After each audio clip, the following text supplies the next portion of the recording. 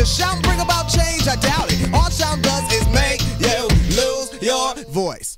So on the dock, I sit in silence, staring at a sea that's full of violence. Scared to put my line in that water, cause it seems like no religion's in there. Naively so, I give it another go. Sitting in church, sharing legitimate woes. Pastor tells the lady it'll be alright. So you can see the pearly gates so white.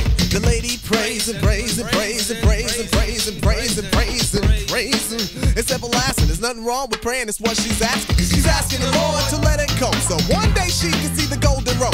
What you pray for, God will give to be able to cope in this world we live. The word cope and the word change is directly opposite, not the same. She should have been praying to change her woes, but pastor said pray to cope with those. The government's happy with most Baptist churches because we